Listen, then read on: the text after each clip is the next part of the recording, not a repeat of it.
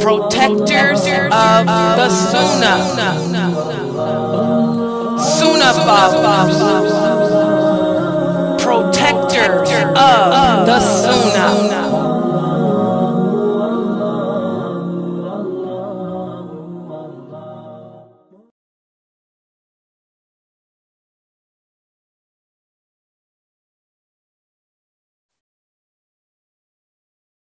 Ina alhamdulillah wa salat wa salam Allah wa rasulullah.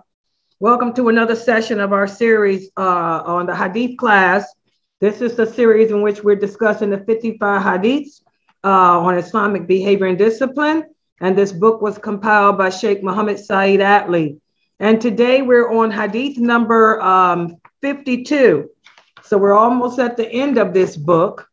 And this Hadith uh, addresses uh, not falling in love with material things, which is a problem that many of us suffer with in this world. This hadith was narrated by Abu Dar. He said, When I was walking with the Prophet at the Hura of Medina in the evening, the mountain of Uhud appeared before us, and the Prophet said, O Abu Dar, I would not like to have gold equal to this mountain for me, unless nothing of it, of it not even a single dollar remained uh, with me for more than one day or three days, except that single dollar which I would keep for repaying my debts. I would spend all that money uh, among the lost slaves like this and like this and like this. In other words, he was saying he would give it all in charity, and he used his hand to point out that how he would give all the money if he had money to equal that mountain, how he'd give it all away in charity. He said, "Oh Abu Dar, uh, uh, and, and then Abu Dar replied and said, O Prophet of Allah. And the Prophet wasallam said, Those who have much money in this world, they will be the people who will be least rewarded in the hereafter, except those who do like this and give in charity. Then he told Abu Dar, Remain at your place and do not leave it until I come back.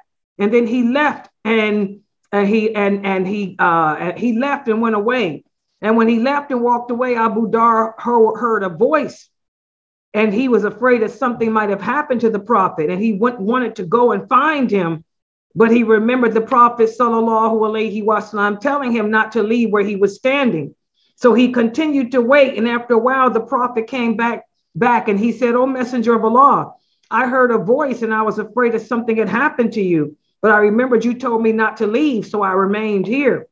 The Prophet sallallahu alaihi wasallam said, I left because that was Jibril who came to me and told me that whoever amongst my followers died without having joined partners in worship with Allah would enter paradise. Abu Dar then said, O Prophet of Allah, even if that person committed illegal sexual intercourse, and even if that person was a thief, the Prophet said, even if he had committed illegal intercourse and was a thief, Allah forgives all sins as long as the person did not die upon disbelief. This is a wonderful hadith that tells us so much. First of all, it teaches us that we need to learn to be content with the qadr of Allah. Whatever Allah has given you with in this life, you need to make the best of it. We have to be careful wishing and hoping for things that can bring detriment to us. Most people who are weak wish to be rich. You hear people 80, 90, 100 years old still talking about how they wish they was rich. And if only they had money, they would do this and that. These people will have nothing coming in the hereafter. First of all, they're discontent with the qadr of Allah. Secondly, as the prophet said, the people rich in this world, you know, they're going to be the last to come forth on the day of judgment because they succumb to that money, the same way these ignorant people succumb to the illusions and delusions of being rich. You know, we learned that from this hadith. The rich man is the one who has peace of mind. The rich man is the one who is content with what Allah has given him on his plate. Learn to make the best out of the situation that you have. That's the qadr of Allah. Okay. Also, from this hadith, we learn how whenever the prophet gave the companions a command, they obeyed him in that. He told Abu Dar, Don't leave this spot, even though Abu Dar heard a noise. and he wanted to check on the prophet, he didn't move because he obeyed the prophet's command. How many of us obey him today? Most of us don't. Most of the men don't wear beards. When the prophet commanded you to grow your beard and don't trim it, look at all these famous speakers with trimmed beards. You know, look how you guys are celebrating his birthday and birthdays when he said, Don't do this because this is shirk. You know, we need to fear Allah. We are the worst Muslims created so far because we are the present generation. And we are so far away from the truth, it's ridiculous. If the prophet came down right now and told you not to move, you'd be the first one to jump and move. Shows how weak we are. And also in this hadith, we learn that Allah forgives all sins. And this is what we were talking about earlier. Like Sister Tony said in our discussion earlier, we have to be careful using the kafir word with other Muslims. Just because a sister doesn't wear hijab, just because that person's a fornicator, you know, as long as that person did not take their love for sex and put it over Allah, as long as that person didn't take their love for something else and put it over Allah, we can't call them a kafir. They're a weak Muslim. They'll probably do some time in hell, probably a whole lot of time. But eventually, Allah says He will let them out. Our struggle is to not do not one second in time. The believer doesn't want to do a second in hell. But for the weak Muslim, they may settle. They may settle for just doing a million years in hell. You know? So we can't call them kafir because Allah forgives every sin, even theft, even robbery, even rape. He forgives every sin except associating partners with him. So we have to be careful of that. So now that I've broken this hadith down, explained it to you, how does it impact you in your life? Who would like to start us off? Go ahead, take the mic. Assalamu alaikum. Walaikum salam. This is, this is a very good hadith. It allows you to know how once again, just how merciful Allah is, you know, because He forgives everything except disbelief. And that's that's that's good right there. And uh, but at the same time, you know, no buts, but it, it allows you to think and to be on your guard about your actions, your thoughts, and your behavior.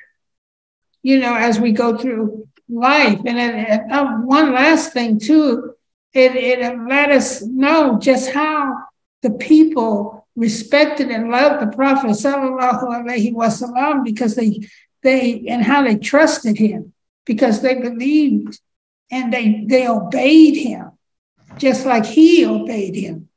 You know when he told him not to leave, and even though he wanted to leave because he thought Prophet Muhammad you know, Allah's messenger, sallallahu alaihi wasallam, might be in trouble. He didn't know what was going on, but he remained in that position until he returned. And that goes to show people can read things in a book nowadays, in a hadith, that Prophet Muhammad said, and still just put it down and keep on going, doing what they want to do you know, and so it just shows that, you know, a lot, a lot of our, our sunnah, we're losing, we're losing, you know, and we need to grasp it back, work on that. Exactly. MashaAllah. Anyone else would like to share? Anyone? Um, Go ahead, Sarah. I wanted, oh, okay. Um, so I wanted to say, um, this is good because I think a lot of people, especially nowadays, get too caught up in the materialistic things and think that, you know, this world is like forever and they totally forget about the hereafter. And, you know, I know some, well, I've seen some people who've even been to like, you know, janazas multiple times and they never really take that in. And I've been there once and it changed my life forever. But it just shows like how, you know, it also goes back to like your upbringing too but then also you would you would also have to try to seek knowledge yourself without you know your parents but we some people do think that this life is forever. I'm not gonna lie. Sometimes I fall victim into that, you know, forgetting about the hereafter. But then I have to like, you know, remind myself that this world is not forever, and Allah can take my soul anytime. And this year, I've learned so much about that because He took so many people that I know life, and you know, from young to like old and it's just a reminder every day to always be humble and remember Allah to the best of my abilities and don't get caught up into the little things and always try to remember your religion and also have that like, you know, that balance in life, you know, there's a time for this and a time for that. And that's something that I'm still working on, but alhamdulillah, I'm doing good so far. Alhamdulillah, mashallah. Yes, go ahead, Sister Amina. Yeah, this was a good reminder on um, it's a time for this and a time for that. Ain't nothing wrong with money, but what you do with money is what it's saying. To spend it for charity. If you have, if he had all that money, he said he'd have, he'd just keep enough to pay his bills, and he would give the rest away. So that that told me that it's okay to have money. It ain't nothing wrong with having money. It's what you do with the money. Exactly, guys. You know, how, what you do with it. You know, are you using it to help build for the future, you know, the hereafter, or are you using it just to live off the life of this world? You know, so this is a wonderful hadith for us to ponder, you know, especially those of us that want to be rich all the time. You know, money is an amana, it's a trust between you and Allah. And when Allah uh, blesses a person with money, they don't understand that's a, a trust. They're going to have to account for every penny of it. How many people did you help? Did the people have to beg you for help or did you help them automatically? You know, did you take care of your family the right way? Did you take care of all your resident residence rights? Like we talked about before, you know, some people uh, will go and work in food pantries. You know, I know a lot of Muslims, this is a new thing here. A lot of sisters on my website do it too. I'll talk on the phone to a couple of sisters, and oh, I got to go on Friday to the food pantry. I'm like, what's a food pantry? I thought it was a store here where I live. People go to buy food, you know, pantry kitchen. I didn't know.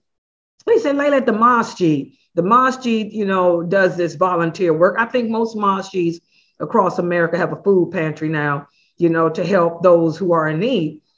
And, uh, you know, before we have to think about it while we're at the mosque helping donate food, you know, to non believers and even Muslims, you have to check your family. Is there anybody in your family in need of food? You know, you got a sister, your, your blood sister over there going through a hard time because she's been, her husband's been laid off from work. You know, she ain't got no food in her house how are you going to go help give to the Kafirs or give to other people when charity begins at home with you and your family? You know, you got a son. You know, I did. We, me and my mother were talking about that. You want to go to the food pantry and help donate food to the Kafirs, but your son, you know, is out in the streets. Your son is walking the streets, drugs or whatever, but he ain't got no help. He ain't got nobody to take no food. Allah is going to ask us because your charity is not accepted then. Allah is going to ask you, why were you working at a food pantry, helping them when you had a, a son or, you know, you had a sister, you know, or your cousin you knew was going through a hardship, living in the street, you know, and you didn't do nothing to help them. You know, we have to, this is how Shaitan gets us. Those of us who are strong in our faith, we have to be even more cautious because Shaitan know that he can't get you with those prayers. He can't get you with Ramadan. He can't get you with the, the basic obligations that he jab. He gonna come at you with things you never thought of. Why am I volunteering at the Masjid food pantry? You know, when my sister husband just been laid off, and I can go and and and and, and give donate some food to them from out of my cupboard. You know, why am I working at a food pantry uh, helping Kafirs when my own blood is in living in the street? Allah is not accepting that charity. He's not, remember, Allah does not accept our voluntary deeds unless we fulfill our obligatory ones. And that's another means that Shaitan uses to dupe us. He'll make us put all our emphasis on doing deeds that are voluntary. but we don't do the obligatory. How many sisters email me every day? Dear Sister Laila, I'm doing voluntary fast, but I never made up my Ramadan. Well, all you're doing is starving yourself because you don't have to do a voluntary fast. You don't have to do uh, Ashura or any other fast except Ramadan.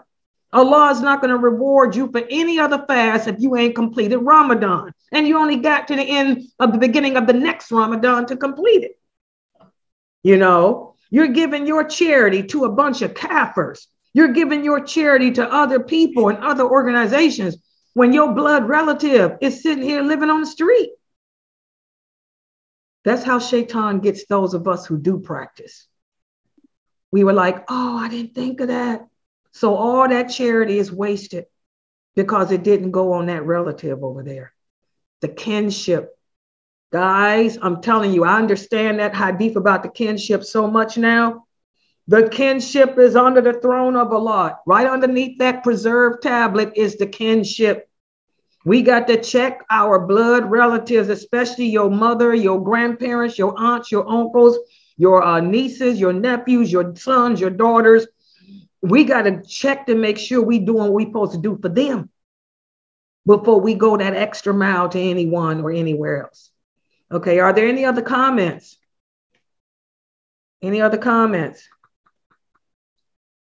Okay, uh, before we close, I want to let everybody know that inshallah, don't forget we have the Quran Tajweed class tomorrow at 6 p.m. Eastern Standard Time.